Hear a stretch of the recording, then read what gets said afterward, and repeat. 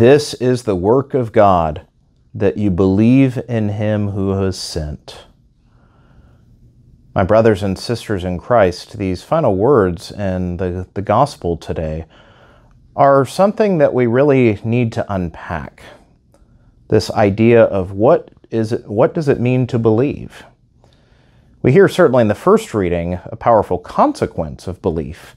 We see the powerful preaching of, of St. Stephen right before, you know, right after we've heard the passage of the, the, the selection and the, the commission of the first disciples, and then we're about to immediately hear of the, the martyrdom of Stephen as the first of those. But he's giving powerful witness to what he believes. But sometimes we can fall into this trap of seeing belief as an intellectual exercise, in a sense to, to measure the facts that we have heard and to make a judgment, uh, a discernment of this kind, a, a, a truth claim, if you will. And this isn't necessarily wrong, but it is insufficient to grasp at what true belief means. Belief is not an intellectual exercise, but instead it's a wedding and actually a submission of the will and intellect together.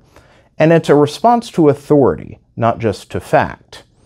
And so when Jesus speaks in response to people asking, well, what are the works we should be doing? And he says, the work of God is belief in the one he has sent. What he's saying is not just believe, not in the sense to nod and say, oh, yes, Jesus, what you say is true. That is not belief. Because in that sense, we could say the devil believes. He knows everything that comes from God, but he rejects it anyways. It's not uh, just a mere intellectual apprehension, but it is a submission to it. It's an exercise of will. It is a response to the authority to the one who gives the truth. And of course, in the mystery of our Christian faith, God is truth. The Word of God, the living Word of God, Jesus Christ, is truth. So he is the truth and the truth giver. He is both the, the Word and the authority. But our belief is an assent, a giving over. And so, in a grasp, when we assent to something, even intellectually, it doesn't mean that we understand every last nuance of it. Uh, of course, in our faith, there's always place of mystery. And in fact, there is no faith to something. If we understood completely black and white and could just, you know, dust our hands off, that wouldn't be an act of faith. But it is when the mind recognizes that which is true and the will submits itself to it.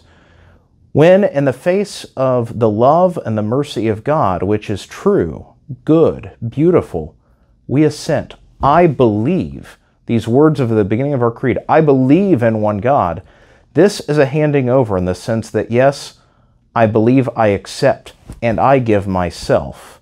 I submit myself to this, what I believe. And so, even as we grasp in mystery, our minds try to wrap ourselves around to untangle these mysteries, nonetheless, we can say, I believe.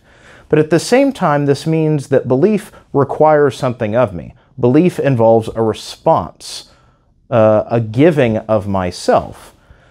There are many people today who believe in Jesus or believe in God, and yet their life does not deviate from the path it was on. This belief is just an acknowledgement of some kind of truth claim. Again, we can invoke the example of Satan himself. Satan knows, he understands, but nonetheless says, I will not serve. So we can say that Satan knows, but he does not believe. Likewise, to be believers means more than just assenting to a truth, but it means a committing of ourselves to it.